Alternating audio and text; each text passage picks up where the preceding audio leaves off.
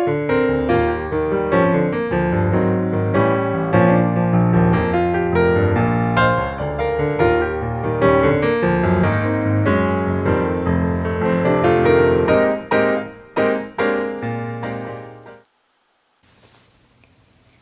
it's Alli with Alli's Craft Creations and today I'm going to show you another mini album I made.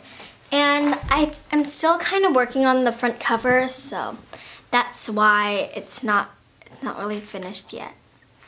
So um, this is the mini album and it says a moment captured and I'm the structure is by my sister Scrapper a vertical paper bag mini album and the stack I used was the Primrose stack and for the cover since I sort of ran out of paper but I lost the other half but then now I found it um, it's by uh, My Mind's Eye Indie Chic collection. It's the blue one.